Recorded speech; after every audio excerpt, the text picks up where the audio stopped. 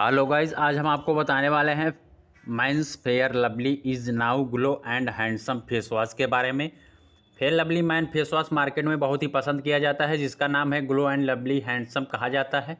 त्वचा का रंग गोरा करने के लिए पुरुष कुछ न कुछ करते रहते हैं, लेकिन इस भाग दौड़ ज़िंदगी में त्वचा का ख्याल रख पाना मुश्किल हो जाता है। घबराने की ज़रूरत नहीं है, Fair Lovely man face wash पुरुषों के लिए बहुत ही अच्छा फेस वॉश है।